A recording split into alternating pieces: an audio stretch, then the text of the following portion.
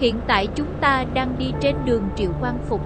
Đường Triệu Quang Phục nằm trên địa bàn phường 10, 11, 12 quận 5 từ đường Võ Văn Kiệt đến đường Bà Triệu dài khoảng 782m độ giới 12m thông qua các ngã ba Trần Tú Công, Phan Huy Chú, ngã tư Hải Thượng Lãng Ông, Nguyễn Trãi, Kỳ Hòa, Hồng Bàng.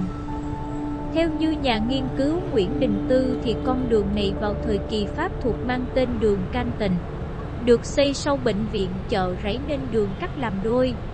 Ngày 19 tháng 10 năm 1995, chính quyền Sài Gòn đổi tên đoạn trên thành đường Triệu Quang Phục và đoạn dưới từ Hồng Bàng đến Võ Văn Kiệt là đường Lý Nam Đế. Sau giải phóng con đường được nhập lại thành một và có tên Triệu Quang Phục.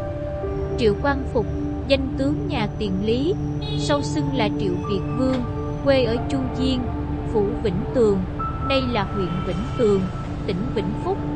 Năm 541, ông theo cha là Thái Phó Triệu Túc giúp Lý Bôn đánh đuổi quân nhà Lương. Năm 545, khởi nghĩa thành công, ông được phong tả tướng quân.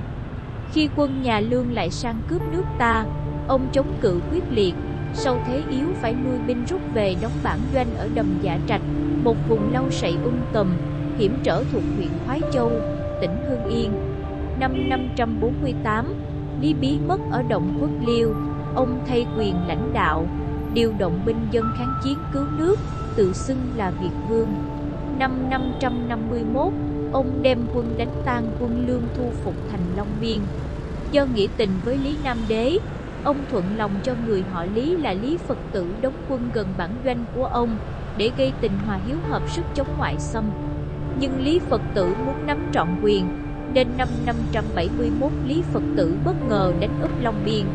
Ông không chuẩn bị đề phòng, đành phải bỏ thành chạy, đến sông Đại Nha sau đổi là Đại An, thuộc huyện Nghĩa Hưng, Nam Định thì cùng đường. Ông đã nhảy xuống biển tự vẫn. Đây ở gần chỗ ông gieo mình còn đền thờ ông. Triệu Quang Phục là một danh tướng tài ba có trái tim nhân hậu, anh hùng chống ngoại xâm thế kỷ thứ sáu của nước ta. Đường này chạy sát phía nam Ngượng Hà, không rộng lắm nhưng lại hưởng được sự thoáng đãng của môi trường sông.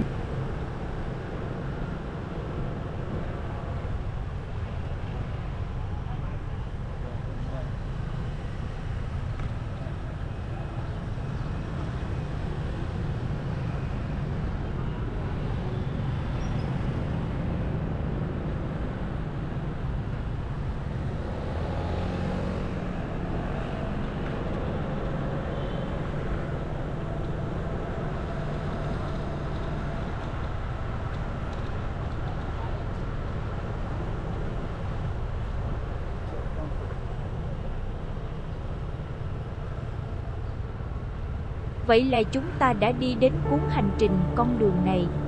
Hẹn gặp lại các bạn ở những hành trình con đường tiếp theo.